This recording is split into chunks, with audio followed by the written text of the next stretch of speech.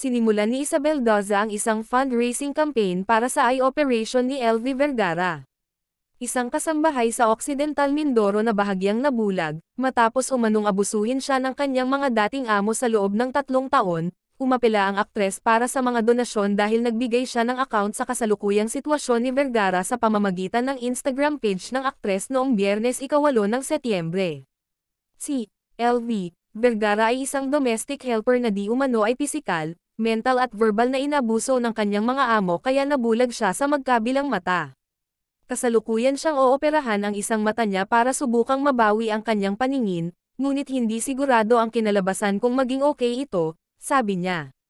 Nangangalap ako ng pondo para mabuhay siya ng malaya mula sa pang-aabusong ito, nang hindi kailangang mag-alala tungkol sa kung ano ang kakainin niya sa susunod na araw o kung mayroon siyang sapat na pera upang mabuhay sa mga pangunahing pangangailangan tulad ng pabahay, pagkain at tulong medikal, dagdag niya. Nagpasalamat din si Doze sa mga nagbukas ng puso at nagpaabot ng tulong, na kinabibilangan ng kapwa celebrities na sina Ann Curtis, Solen Yusuf, Liz Oy, Iza Calzado at Alex Gonzaga, si Isabel Daza ay nakalikom ng mahigit P117,000 para sa 44 anyos na si Vergara habang sinusulat ito.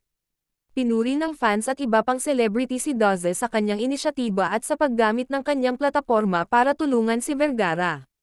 Sinimulan na ng Senado ang isang motu proprio na investigasyon sa matinding pagmamaltrato kay Vergara, na nagtamo ng mga pinsala matapos umanong inabuso siya ng kanyang mga dating amo, France at Jerry Ruiz sa pamamagitan ng paulit-ulit na pagsuntok, pagsipa at pambubugbog sa kanya ng iba't ibang bagay.